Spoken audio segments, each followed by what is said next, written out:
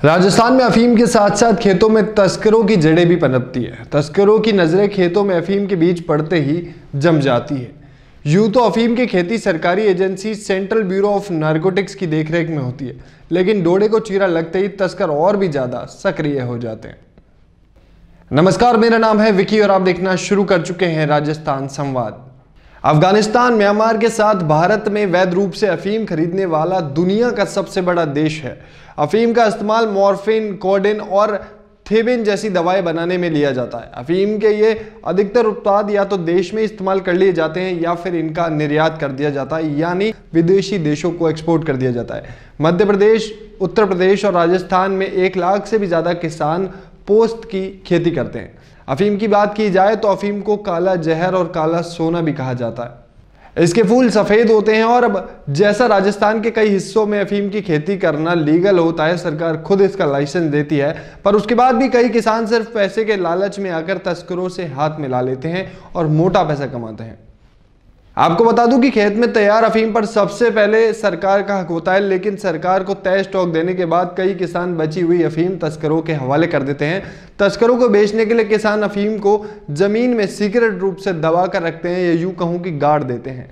अफीम की खरीद तो सरकारी खरीद की अगर बात की जाए तो सत्रह सौ रुपए से लेकर पच्चीस सौ रुपए किलो के बीच। लेकिन अगर तस्करों की बात करूँ, यानी ब्लैक मार्केट की तो एक लाख रुपए प्रति किलो के हिसाब से बिकती है ये। इसी लालच में अफीम तस्करों को खेत में घुसपैठ करने का मौका मिल जाता है और किसान भी मोटे पैसे को देखते हुए तस्करों को आने देता है। ऐसी कार्रवाई में सफलता पाई है रायपुर जाटन में, जहाँ जिला स्पेशल टीम सिंगाना पुलिस ने क्यूआरटी ने सरसों की खेती की आड़ में अवैध अफीम की खेती पकड़ी है और आठ क्विंटल सत्तर किलो अफीम के साथ आरोपी राजवीर को गिरफ़्तार किया है। आपको बता दूँ कि पुलिस ने मौके से इक्कीस अफीम के पौधे बरामद किए हैं। झुंझुनू पुलिस अधीक्षक मनीष त्रिपाठी ने ज़िले ऑपरेशन में धरपकड़ चला रखा है, जिसके तहत सिंगाना थाना क्षेत्र में अवैध अफीम की खेती की सूचना मिली थी और जब मौके पर पुलिस कार्रवाई करने पहुँची तो आरोपी को रंगे हाथ पकड़ लिया। जब आरोपी को देखा तो आरोपी ने खेत में अवैध रूप से आठ क्विंटल सत्तर किलो अफीम खेत के बीच में, यानी सरसों के खेत के बीच में उगा रखी थी, जिसे पुलिस ने जब्त कर लिया है। अब आप लोगों के दिमाग में ये सवाल आ रहा होगा कि सरकार खुद जब इस चीज़ की परमिशन देती है तो फिर कार्रवाई क्यों? तो आपको बता दूँ कि एक किलोग्राम अफीम के एक हज़ार रुपये मिलते हैं सरकारी खरीद की। जबकि ब्लैक बाज़ार में यानी काले बाज़ार में इसकी कीमत पचास हज़ार रुपये प्रति किलो या इससे भी ज़्यादा हो सकती है। दूसरी फ़सलों के मुकाबले अफीम की खेती में जोखिम और मेहनत दोनों बहुत ज़्यादा होती है। इसलिए अगर किसानों की बात की जाए तो किसान कहते हैं कि दस हज़ार रुपये प्रति किलो हमें मिलने चाहिए और अफीम की खेती करने वाले किसान कहते हैं कि उन्हें दूसरी फ़सलों की तरह अफीम की खेती पर मुआवजा नहीं मिलता। सरकारी रेट्स भी कम है तो इन्हीं दोनों कारणों को लेकर किसान अपनी फ़सलों को सरकार से ज़्यादा बेचने से ज़्यादा विश्वास रखते हैं, तस्करों को बेचने में। और उन्हें लगता है कि इससे वो मोटा पैसा कमा सकते हैं। पर एक ये सोचते ही, ये काम करते ही वो एक लीगल काम को एक लीगल काम में बदल देते हैं और सिर्फ़ पैसे के लालच में अवैध खेती करने लगते हैं, जो कानून की नज़र में और कानूनी रूप से दोनों ही गलत हैं, एक जुर्म है। यदि राजस्थान संवाद की एक खास रिपोर्ट कैसी लगी आपको ये रिपोर्ट आप हमें कमेंट करके बता सकते हैं। और साथ ही ऐसी और अपडेट्स के लिए आज ही सब्सक्राइब करें हमारे चैनल राजस्थान संवाद को।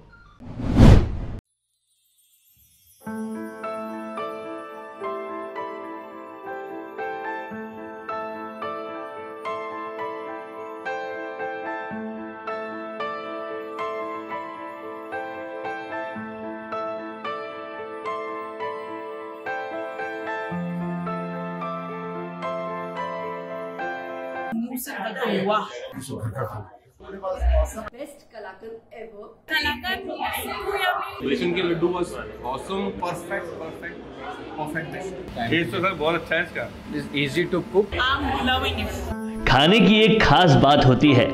खाना ज़्यादा पेट में है पर खाना कैसा है ये बताता है आपका चेहरा। अब इन हँसते मुस्कुराते चेहरों को देखकर आप अंदाज़ा लगा ही सकते हैं कि खाना कैसा था। अरे भाई, जब रेस्टोरेंट जैसा टेस्ट आपको घर पर मिलेगा, आपका फेवरेट फ़ूड टेबल पर मिलेगा, वो भी महज कुछ मिनटों में तो क्यों नहीं होगी खुशी? और इस खुशी का कारण है मोटू शेफ और उनके प्रोडक्ट्स मोटू शेफ आपको देता है ड्राई मिक्सेस और ग्रेवीज जिसकी मदद से आप पा सकते हैं आपकी घर की प्योरिटी के साथ रेस्टोरेंट जैसा टेस्ट महज कुछ ही मिनटों में। तो अब आप इन्हीं से सुनिए कि कैसा लगा इनको मोटू शेफ का खाना have tried Kalakan mix of Motu Chef. It was very quick and very easy to make with the steps given uh, behind the packet. I can't really explain how easy it was, and it was so quick journey with the very best Kalakan ever. I will strongly recommend all the products of Motu Chef and especially Kalakan mix. Is absolutely delicious. Delicious. I just want to say that I'm loving it. जो मोटू chef का जो खाना है ready to mix ready to eat ready to prepare वाला ये तो बिल्कुल ऐसा लगा जैसे घर का खाना The food is really nice. Uh, the Motu Chef ready to cook, cook items. When you talk about ready to cook items, you normally feel that it is not looks fresh, but it is was awesome experience. It looked really fresh. The besan ke laddu was awesome, and the uh, pasta gravy is also awesome.